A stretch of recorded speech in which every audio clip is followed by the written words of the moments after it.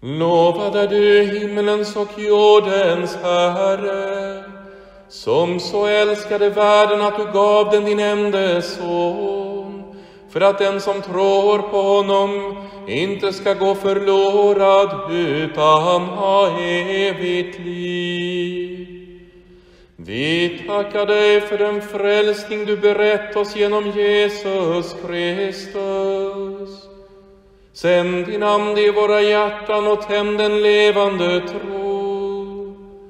Helga genom din Ande detta bröd och vin, gåvor av jordens frukt och människors arbete, som vi bär fram inför dig. Vi tackar dig för att vi genom dem får del av Kristi kropp och blod.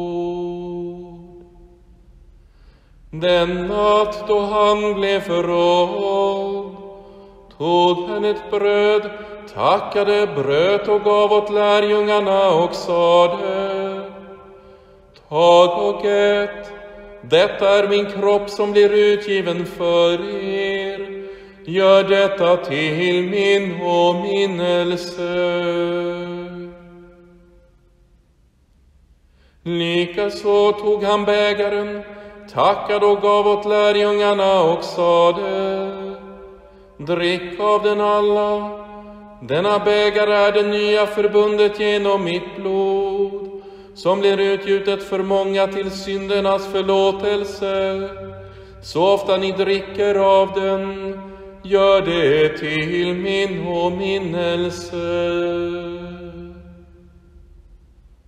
Din död förkunnar vi, Herre, din uppståndelse bekänner vi till dess du kommer åter i härlighet.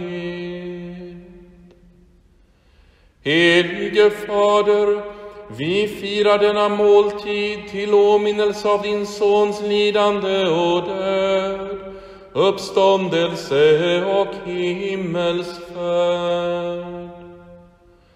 Av livets bröd och välsignelsens bägare ger du oss att äta och dricka intill den dag då han kommer åter i härlighet.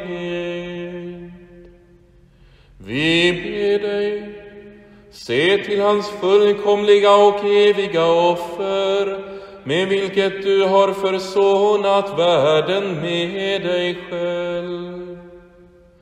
Låt oss alla genom den heliga Anden förenas till en enda kropp och fullkomnas till ett levande offer i Kristus.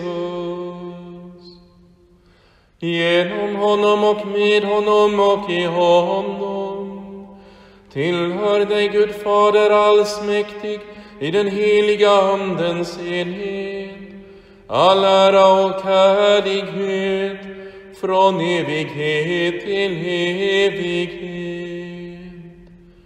Amen.